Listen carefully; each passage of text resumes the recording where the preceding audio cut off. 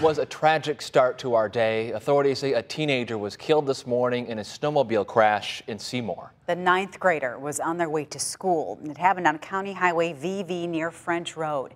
Deputies say the 15-year-old was riding a snowmobile on the Oneida Trail and failed to stop at a stop sign and was hit by an SUV. The teen died at the scene. Officers say no one in the SUV was hurt and the teen was wearing a helmet. The Seymour School District says they had counselors available throughout the day and will be there for the rest of the week.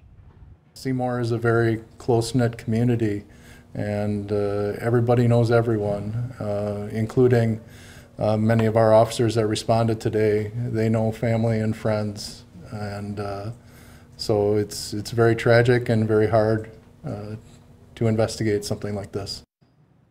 At this point, deputies say they do not anticipate charges will be filed against the SUV driver. NBC 26's Abigail Hankey talked with the woman who lives near the scene. The woman says she was on her way home from work when she drove by.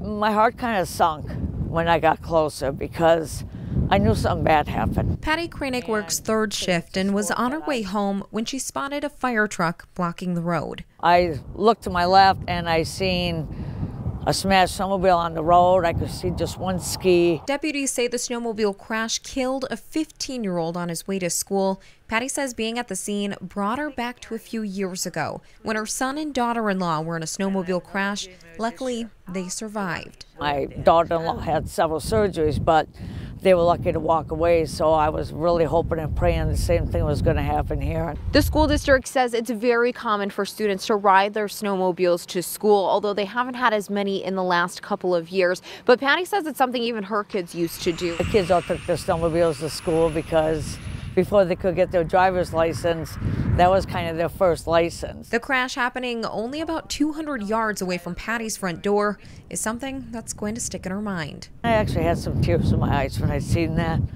because, you know, it was close to my, my son and his wife, and it just kind of takes you right back there again. So I just feel so bad for them. In Seymour, Abigail Hankey, NBC 26 and the student's name has not been released.